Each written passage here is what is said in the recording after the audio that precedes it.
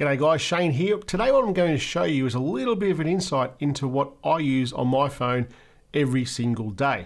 What happens and the way this video came about is when I've done tutorials and I've shown you screen recordings of what's happening uh, on my phone as I'm doing something, uh, a number of people ask me, what is that icon that you've got there or what is that app that you're using there? So what I thought I'd do is I'll show you what's on my phone. Hang around, let's get into it.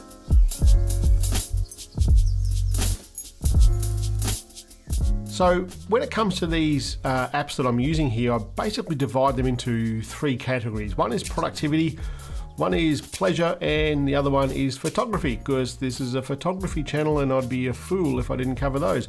So what I'll show you first, actually I'll show you this photo first. This is the photo that I have on my wallpaper. Um, and what I might do with this, if you want this as your wallpaper, head over to phonephotoschool.com.au. I'll put this photo there so you guys can use it for your own wallpaper if you desire.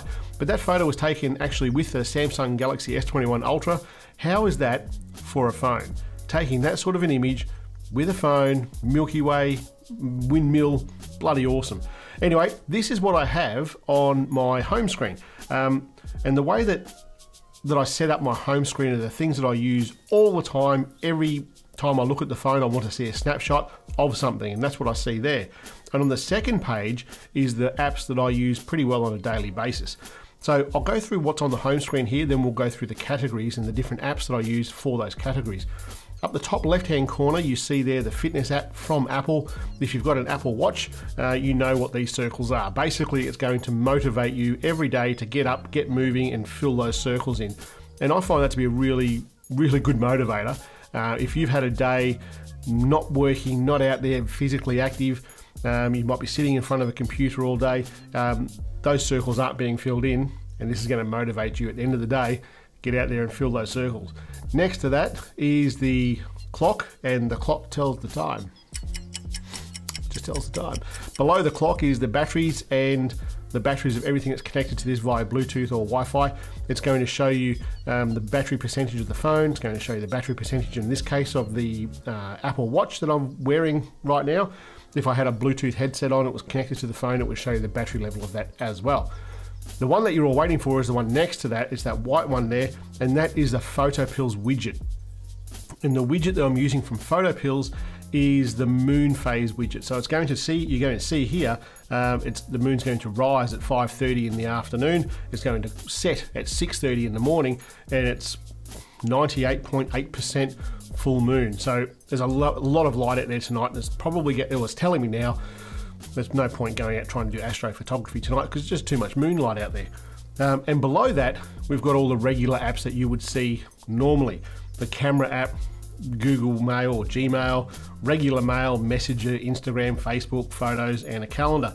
And down below that, the regular apps there, the, the, telephone and so forth. The one that you may not know is that red and white one there, and that is the YouTube Studios um, uh, app. And basically, what this will show me is comments and stuff that you guys are making on. Um, uh, the, the channel and it lets me know that someone's commented, someone might be asking a question or something like that, and I like to answer as many of these questions as I can. So the more I see them, the more I answer them. Basically, that. So when it comes to productivity, there's one app that I use all the time, and that is Evernote. And Evernote is, if you're not familiar with Evernote, what it is is a way that you can create notes, sketches, photos, all those sorts of things. And basically, it's where I jam all my ideas. So I might be out doing um, some sort of job or going for a walk in the morning, doing something, and I think that's a really good idea. I need to research that. I'll quickly punch it into Evernote, and as I sit down here in front of my Mac, I can open up Evernote on the web page and all the things that I've put into the phone are right there as well.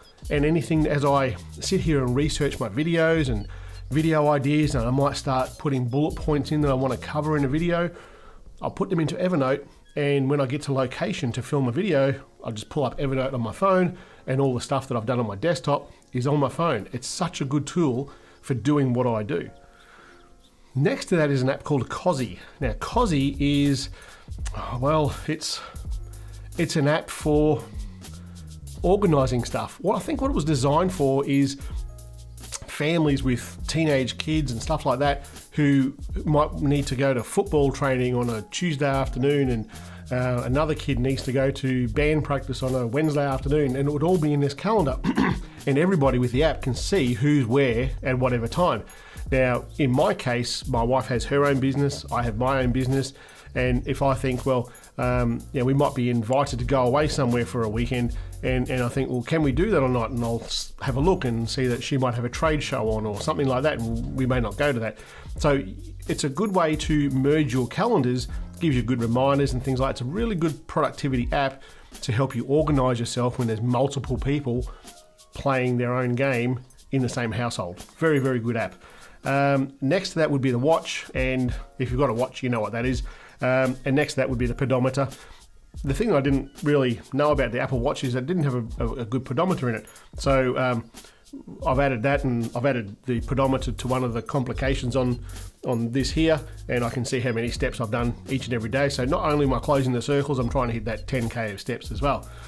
The last one here is the BOM. You can see there, BOM Weather, B-O-M Weather, Bureau of Meteorology. That's basically a weather app. And pardon me, and if you are into photography, landscape photography, you want to know what the weather's doing. So not only am I looking at the um, the moon coverage, I'm also looking at what, what's going to happen with the clouds. If there's clouds there, obviously I can't take photos of the stars. So that's a pretty important photo to me, uh, pretty important app to me as well. Next up is Pleasure and the apps that I use for pleasure. And, and across the top here, you've got across the second row, is Audible. And Audible is all about audiobooks, and I listen to a lot of audiobooks. From day to day, I can sit in a tractor for a few hours, I can sit in a tractor all day, and it can get pretty freaking boring. So I'll throw my Bluetooth headset in, put one ear in there, one ear not covered so I can hear what's going on still, and I'll listen to an audiobook. And any audiobook you want, and Audible is probably well, Audible is the best app for listening to audiobooks, in my humble opinion. It's just sensational. You pay for the books, everybody wins. You get to listen to a good story the author gets gets paid commissions on what they are, and the uh, creators who sit there and do the voiceover acting for these audiobooks, well, that works as well. So everybody wins in that. It's I think it's a good solution. Next down is Spotify, and Spotify. I'm not. i have got. A, I'm, I'm an Apple.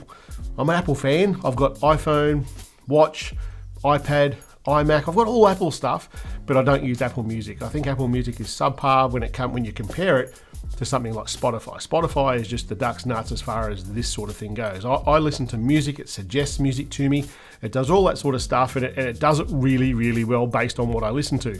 Apple does that to an extent, but not nearly as good as what Spotify does obviously. Um, and and you've also got all those podcasts, and I listen to a lot of podcasts as well. I listen to iPhoneography podcast, Greg McMillan. Now you're watching, get to say good day. And uh, I listen to a lot of YouTube creator um, uh, podcasts as well. So like things like Dusty Porter and vidIQ, those sorts of guys. I listen to those, and, and you learn a lot of stuff as well. My favorite podcast out of every podcast has nothing to do with photography. It is stuff you should know. And they've been going for years and years and years and years. It's a general sort of basic, general knowledge thing, stuff that you just, well, it's called stuff you should know because it's stuff you should know. It's just an amazing podcast. Definitely worth checking out. After that is photography, and this channel is all about photography, and these are the photography apps that I use. As a photographer with an iPhone, the camera that I use all the time is the native camera app. Simple as that. It does it really, really well. It's a good app takes good photos, and they just make it better and better and better. And the other apps that I will use for photography are the apps that the camera app just doesn't do. So for example, my favorite app at the moment, and it's been my favorite app since I've found it, is Even Longer. Even Longer is just a sensational app for taking long exposure photos. And they made it even better when they did uh, light trails and star trails. And even in the video that I did, and I'll link it at the top here, of the Even Longer app, there was a couple little things I thought you could make that a little bit better, and I suggested it in the app.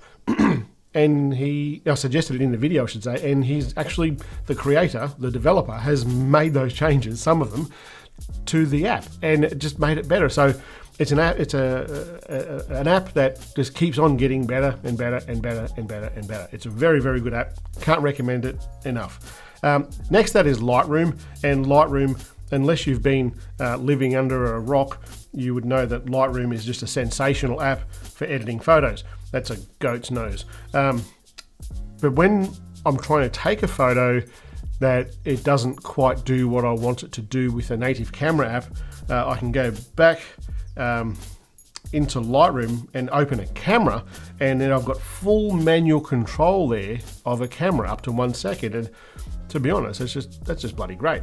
Um, the good thing about Lightroom is that if I take a photo or edit a photo in Lightroom on my phone, I can then put it to the Creative Cloud, bring it down to my Mac, bring it down to my iPad, and do editing on all three of those, regardless of where I am. All I need is an internet connection. It works really, really well. Um, next, that is Snapseed, and Snapseed, well, you would know um, Snapseed. It's it's a free version.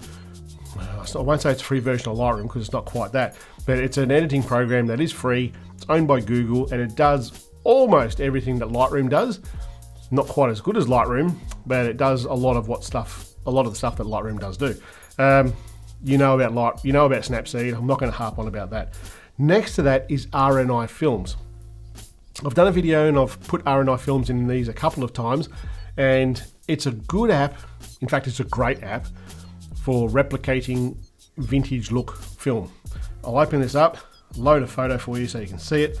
Um, let's go into the recents and I'll put this track, this truck that I shot in a video a couple of weeks ago.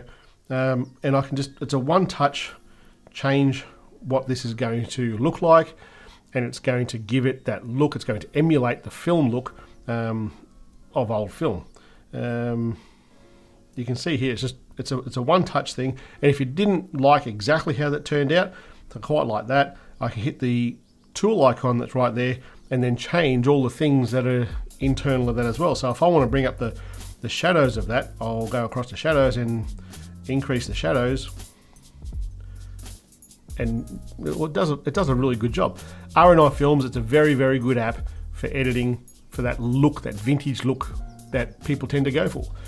Underneath this is uh, Photopills, and above it is Night Sky, and both of those are planning tools to do the sort of photography that we do here on this channel. Um, that is photos at night of the stars with your phone. Um, and next to that is DJI, the two apps for DJI. One is for the drone, when I throw the drone up and take photos of that occasionally, and the other one is for the gimbal. Um, they're the main photo, uh, main apps that I use day to day on my phone. If you use a different app, I'm pretty keen to see what you guys have got to say about those apps. If you did know about them all, let me know. If you didn't know about some of them, let me know as well. If you want to know more about uh, how to add widgets and stuff, let me know and I'll maybe do another video about how to do that sort of stuff. But until then, guys, I'll see you guys later in the week. Catch you later.